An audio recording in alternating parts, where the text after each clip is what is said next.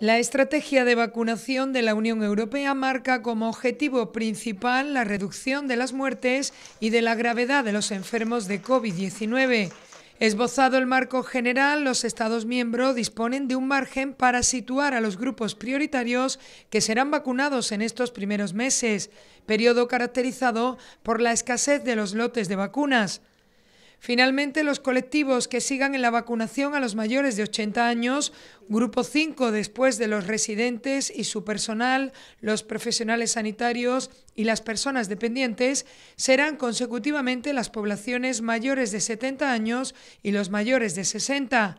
Así lo ha explicado el pediatra José Antonio Navarro, experto en vacunas y consultor honorario del área de vacunas del Ministerio de Sanidad. La concreción final de estos grupos estará condicionado al número y al tipo de vacuna de las que se dispongan. El porcentaje de muertes en Andalucía por exponer las guías de la Unión Europea acapara hasta el momento la población con más de 60 años, más de un 90% del total.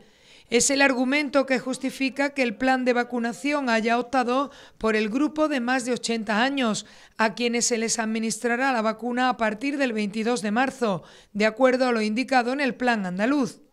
Después de los más de 400.000 andaluces que forman parte de esa corte, entrarán en una fecha que estará determinada por la disponibilidad de dosis de vacunas la población entre 70 y 79 años, cerca de 650.000 andaluces, y posteriormente el colectivo entre 60 y 69 años, más de 860.000 personas.